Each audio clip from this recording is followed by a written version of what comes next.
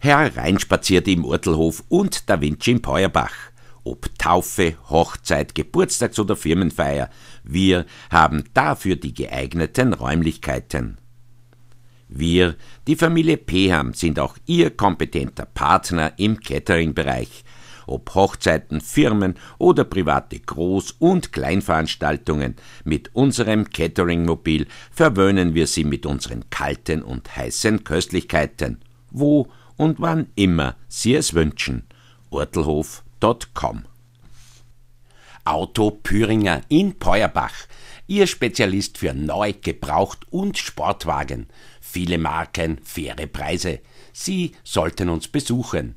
auto-püringer.at Jochens Imbiss in der Bahnhofstraße 36a in 4722 Peuerbach. Dort, wo man sich trifft und auch bestens isst. Wirt Spaching in Niederspaching 8 4730 Weizenkirchen gutbürgerliche Küche und saisonale Schmankerl genießen Sie in der gemütlichen Atmosphäre unseres Hauses und auch in unserem wunderschönen Gastgarten. Wird in spaching.at Schlagerfreunde, aufgepasst! Sommernachtsträume des Schlagers im Melodium Peuerbach. Samstag, 17. Juni 2023, Beginn 19 Uhr.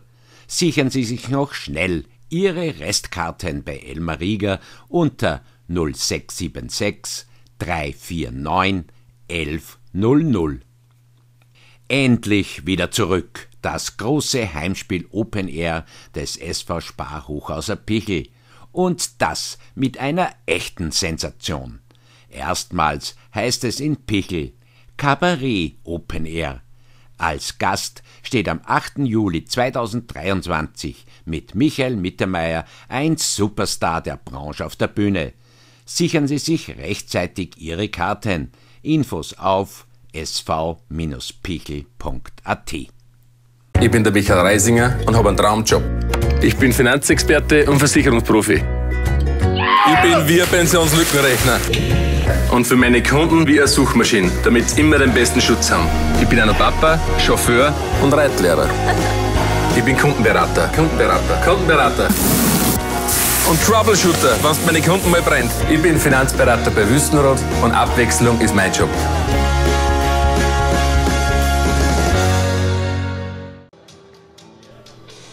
In der Guntermatic Arena Peuerbach empfängt in der letzten Landesliga Westrunde der Saison 2022-23 die Union der Hausugviertler Sternenstadt die Union Gschwand. Für beide Teams geht's in dieser Partie um nichts mehr. Für die Elf vom Trainer Davorin Kabler ist nach dieser schwierigen Saison die Herbstrunde beendete man in der 15er Liga auf Rang 14 und lag zu diesem Zeitpunkt nur vier Zähler vor Schlusslicht Schlierbach auf dem gehassten und gefürchteten Relegationsplatz. Aber dann kam Kabler und mit dem ehemaligen Bundesliga-Kicker der Erfolg zurück. Man rangiert auf der Elf und hat mit dem Abstieg und der Relegation nichts mehr am Hut. Ja, wie, wie, wie du eh schon gesagt hast, wir haben, wir, haben wir im Herbst eigentlich ja, äh, an vorletzter Stelle gelegen, haben dann geschaut, dass wir im Winter uns äh, mit den einen oder anderen äh, verstärken haben wir dann einen, äh, einen, neuen Trainer bekommen, mit Davorin.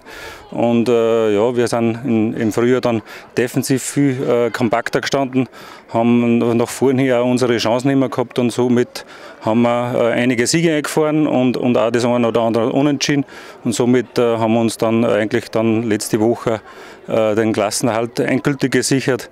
Und ja, wir sind grundsätzlich jetzt äh, das, Saison, das Saisonziel war, ist erreicht und jetzt schauen wir natürlich schon wieder für die neue Saison, dass wir gut aufgestellt sind. Vor allen Dingen eine Liga, wo es eigentlich jede Woche fast ein Derby gibt. Mhm. Ja, das ist natürlich die, die Landesliga West äh, mit, mit den äh, Vereinen da in der Umgebung, mit Andorf, Scherding, äh, Grieskirchen äh, sind das natürlich super Derbys, sind immer viele Leute und äh, ist auch für die Zuschauer super, weil die äh, ja, immer 500 bis 700 Zuschauer sind und das ist natürlich schon für uns äh, im Beuerbach äh, immer ein Erlebnis, äh, wenn man da am Fußballplatz geht. Ja, ich kenne dort von die Leute von der Umgebung, schon von meinen Spieler war ich da im Umkreis, habe ich gespielt und die haben mich, mir, mich gefragt, ob ich das ein bisschen mithelfen kann und dass, man, dass, man Verein, dass der Verein in Liga bleibt. Und wie gesagt, im Winter waren wir Vorletzte und jetzt haben wir schon zwei Runden von Schluss Klassen, Klassenhalt geschafft und natürlich sind wir froh darüber. Ne? Vor allen Dingen Klassenerhalt geschafft, wenn man so schaut. Auf den letzten drei Plätzen sind aufsteigende Landesliga West, so eine starke Liga. Ja, Liga ist ausgeglichen, stark mit den zwei, drei Mannschaften, die vielleicht übers Liga stehen, aber die andere ist, ist komplett ausgeglichen. Das haben wir gesehen bei den Ergebnissen. Fast gegen jede kann jede schlagen. Und ja, wir sind am Endeffekt froh, dass man trotzdem, jeder schaut auf sich selber und wir haben auf uns geschaut, dass wir in der Liga bleiben und haben es Gott sei Dank geschafft. Ne? Was war das Erfolgsgeheimnis dafür? Ja, Geheimnis. Wir haben ja, keine Ahnung. Wir, wir, haben ganz einfache Sachen gemacht. Wir haben, wir haben, wir haben, mit Elden Fesic auch in Winter einen Spieler bekommen, der jetzt Unterschied gemacht hat. Und wir haben sie gut vorbereitet und die ersten paar Runden waren wir nicht so gut und dann ist er mit der Zeit irgendwie alles, alles, alles hat geklappt und mit, natürlich mit den Siegen zu Hause in Schollerbach und Grieskirchen, dann waren, das waren, glaube ich, Schlusspunkte für unseren Erfolg. Ne? Davorin Kabler bleibt in Beuerbach? Naja, auf jeden Fall. Wir haben im Winter um eineinhalb Jahre ausgemacht und das, das wird so sein. Bleibt noch ein Jahr. Ja, du hast richtig gesagt, die zweigeteilte Saison. Der Herbst war nicht so prickelnd, aber das Frühjahr war absolut top. Äh, was vielleicht ein bisschen schade war, dass wir zu viele X gemacht haben, aber die Leistungen waren wirklich super. Die Jungs haben sich voll reingehauen und es hat mit Sicherheit passt. Wir sind zufrieden mit, äh, mit dem Ergebnis jetzt vor allen Dingen äh, den Klassenerhalt schon vorzeitig gesichert? Ja, klar, das ist natürlich schon im Hintergrund gelegen, weil in der Liga, äh, wenn du schlecht spielst, verlierst du gegen den Letzten. Ne? Aber wenn du gut spielst, kannst du auch gegen den Ersten gewinnen und das ist das Schöne dran bei uns. Vor allen Dingen hat es da im Winter einen Wechsel gegeben auf dem Trainerstuhl mit Daborin Kabler einer gekommen, der gewusst hat, wie man mit solchen Situationen umgeht. Klar, einfach ein professioneller Trainer, der weiß, wie das Fußballgeschäft geht, äh, relativ einfach äh, ist und, und äh, extrem mit den Leuten gut kann. Das ist das Wichtigste. Wichtig ist, dass die Leute gern zum Training kommen und äh, das, glaube ich, war heuer ausschlaggebend. Apropos Verein, da hört man Gerüchte, dass der Langzeitpräsident ein bisschen ruhiger treten will in Zukunft. Das habe ich auch schon gehört, ja. Schauen wir mal, was da rauskommt. Ne? Nein, selbstverständlich, ich werde nach 28 Jahren, glaube ich, habe ich sicher äh, äh, das, das, äh, dass ich selber bestimmen kann, dass ich aufgehe. Und am schönsten ist, wenn irgendwer da ist, der das macht. Ich freue mich schon richtig drauf, äh, weil kommt wieder eine neue Periode und, und es geht nur um Toni und es muss einfach weitergehen. Völlig anders da die Lage bei den Gästen. Für die ist die Saison nach Runde 30 noch nicht zu Ende. Zwar muss sich Schlierbach nach der 3 zu 4 Nachtragsheimniederlage am von Leichnamstag gegen Esternberg nach nur einer Saison wieder von der zweithöchsten Fußballliga Oberösterreichs verabschieden. Gschwand entgeht zwar dem Fixabstieg mit vier Zählern Guthaben auf die Kremstaler, muss als 14. mit fünf Punkten Rückstand auf die Spielgemeinschaft St. Marienkirchen-Wallern, den dritten Neuling in der Landesliga West, aber in die Relegation gegen Bezirksliga Süd Vizemeister Gunskirchen. Die Kicker aus der Wels Landgemeinde haben gegen Cemp Schwannenstadt das Titelduell verloren und damit den Direktaufstieg verpasst. Sehr interessantes Detail dabei. Wäre Schwaner Zweiter geworden, wäre es zum Vorjahresduell in Sachen Landesliga gekommen. Denn letzte Saison hat Bezirksligist Gschwand in der Relegation den Club, der schon zweite Bundesliga-Luft schnupperte, von der Landesliga in die Bezirksliga geschickt.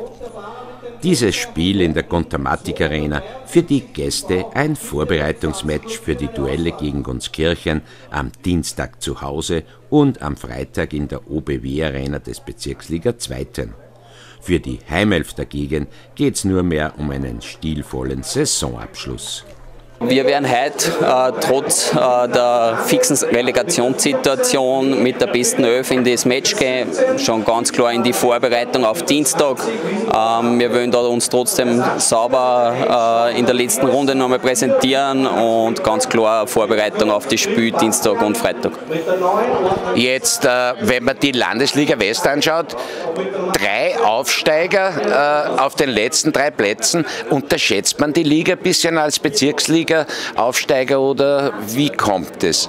Ähm, wir haben uns das Ganze nicht so schwierig vorgestellt, wie es dann wirklich war. Ähm, man muss aber auch dazu sagen, wir haben der Öf oder der ganzen Mannschaft letztes Jahr, die was über die Relegation aufgestiegen ist, auch wieder das Vertrauen geschenkt, haben den Kader nicht großartig verändert, haben schon gewusst, dass das für uns eine Challenge wird, äh, haben aber auch gezeigt, dass wir gegen renommierte äh, Landesliga-Vereine auch mithalten können, sehr viel knapp knappe Ergebnisse, oft nicht für uns, aber durchaus mithalten können und auch die eine oder andere Überraschung äh, geschafft haben. Dass die Fußballfreunde auch ein Match, in dem es um die sprichwörtliche goldene Ananas geht, interessiert, das zeigen die über 200 Besucher in der Guntermatik Arena. Und die sehen in der neunten Minute wie Gschwanz Rizvanovic nach einer Ecke, ausgeführt von Kapitän Sirocic, an die Kugel kommt und abzieht. Der Schuss nicht von schlechten Eltern, nur sein Visier hat der Kapitän der Gschwandner noch nicht richtig eingestellt. Eine Minute später die erste gute Aktion der Kablerschützlinge über die rechte Seite. Nach der Flanke von Oehlinger setzt Message seinen Kopfball aber über das von Gavric bewachte Gästegeviert. Wiederum nur 60 Sekunden später brennt es dann vor dem Kasten von Heimeinser Part Lichterloh. Nach der super Vorarbeit von Foizinhoe hat Tiefenthaler die Chance zum Gäste 1 zu 0. Und auch beim daraus folgenden Corner ist der Landesliga West 14. bei diesem Kopfball von Rastovic ganz nahe dran an der Führung in diesem Landesliga West Match der 30. Runde. Der Neuling in Oberösterreichs zweithöchster Fußballliga ist jetzt eindeutig das spielbestimmende Team und hat nach einer Viertelstunde die nächste Peak-Möglichkeit auf das 1 zu 0. In der 18. Minute scheint die Führung für die Gäste Realität zu werden, denn Rizvanovic ist solo unterwegs Richtung Heimtour. Dem 1 zu 0 steht aber der Einser der Sternenstadt-Kicker im Weg. Nach dieser Aktion kehrt dann eine fast eine halbe Stunde dauernde Ruhepause in dieses Landesliga-Westspiel ein. Erst in der von ohne Probleme pfeifenden unparteiischen Barucic verhängten zweiminütigen Nachspielzeit nochmals ein guter Angriff der Gäste, der dann aber auch nichts Zählbares einbringt. Und so werden die Seiten bei einem 0 zu 0 zwischen Beuerbach und Gschwand gewechselt. Für die über 200 gibt's in der Pause Erlesenes vom Grill und natürlich das Elektrolytgetränk Nummer 1, sprich das dazu passende Bierchen.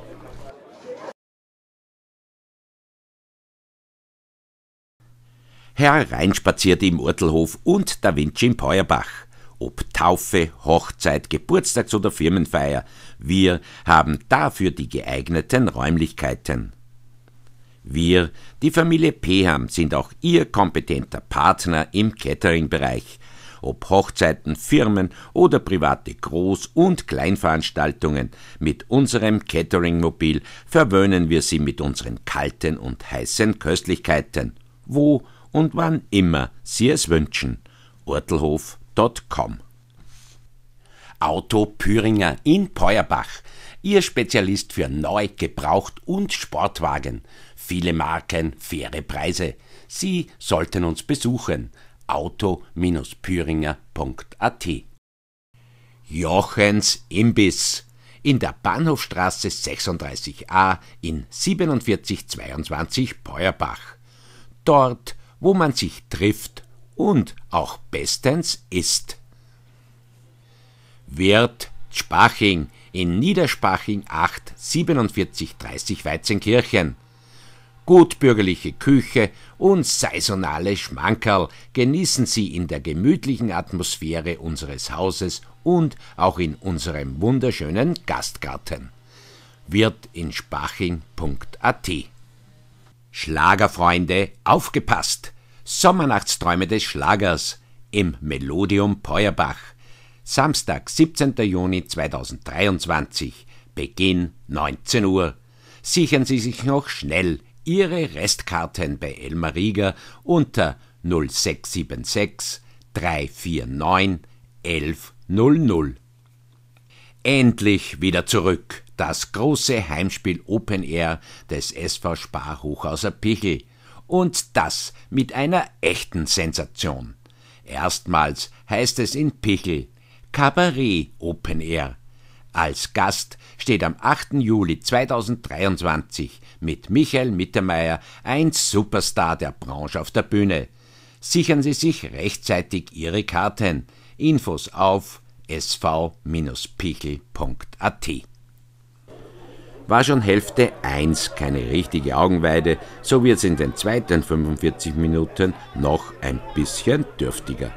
Acht Minuten nach dem Wiederanpfiff gibt's diese Heimchance durch Reiter zu sehen. Der Peuerbacher wird aber im letzten Augenblick an seinem Abschluss gehindert. Ab der 55. Minute setzt dann die große Wechselzeit in der Kontermatik Arena ein. Sowohl bei der Kabler 11 als auch bei den Gästen wird jeweils gleich doppelt ausgetauscht. Nach einer Stunde dann dieser Angriff der Hausogviertler über die rechte Seite, Philipp Haselgruber mit der Flanke, der kurz davor ins Spiel gekommene Kornfelder setzt seinen Kopfball aber klar über den Gästekasten. Apropos Haselgruber, der Herr Magister verlässt die Stadt der Sterne wieder und wird Spielertrainer in Thalheim. Neben Hasi, wie er genannt wird, verlassen auch Michael Dobelhofer Richtung Dorf an der Bram und Moritz Wolfsteiner Richtung Spielgemeinschaft St. Marienkirchen an der Polseinswallern die Peuerbacher Union. Fünf Minuten nach dieser Aktion ein schnell ausgeführter Einwurf der Gschwanter. Über den Abschluss von Kapitän Sirocic hüllen wir das Mäntelchen des Schweigens. In der 70. Minute muss dann das Team von Präsident Ratzenböck führen, tut es aber nicht, denn Message lässt nach der Traumvorlage von Kornfelder diesen Sitzer aus. Oder sagen wir es besser so, Gästekeeper Gavric verhindert mit einer Weltklasse-Reaktion, dass sein Team 0 zu 1 zurückliegt. Hier diese hochkarätige, aber nicht genutzte Chance der Peuerbacher auch noch in Zeitlupe. Nur drei Minuten später eine Ecke für Gschwand von der linken Seite. Ja, und jetzt hat vor dem Kasten von Heimgoli Barth Gästemann Gillesberger das 1 zu 0 für Gschwand am Kopf. Aber die über 200 in der Kontermatik Arena bekommen an diesem Tag einfach kein Tor zu sehen. Es bleibt beim 0 zu 0. Das ist es dann fast in diesem Match der letzten Runde in der Landesliga West. Fast deshalb, weil Schiri Barucic Feuerbachs Hauseder wegen Unsportlichkeit den gelb-roten Karton zeigt. Der bleibt allerdings ohne Konsequenzen, denn diese gelb-rote wird nicht in die nächste Saison mitgenommen. In der Tabelle ändert sich mit diesem torlosen X nichts mehr. Die Union Feuerbach schließt auf der 11 ab, der 14. die Union Schwand hat ab dem Schlusspfiff ihre Gedanken auf die für den Klassenerhalt entscheidenden Relegationsduelle gegen die Union Gunskirchen gerichtet. Jetzt steht auch der Gegner der Relegation mit Gunskirchen schon fest. Wie schätzt man den ein? Wie kennt man den? Ja, kennen wir jahrelang aus der Bezirksliga fahren, sehr viel Qualität drinnen. Ähm, wird sicher eine schwierige Aufgabe, aber eine machbare Aufgabe. Wir von Vierviertel TV werden den Fußballfreunden aller Voraussicht nach von diesen beiden Top-K.O.-Duellen die entscheidenden Szenen natürlich auf die Bildschirme liefern.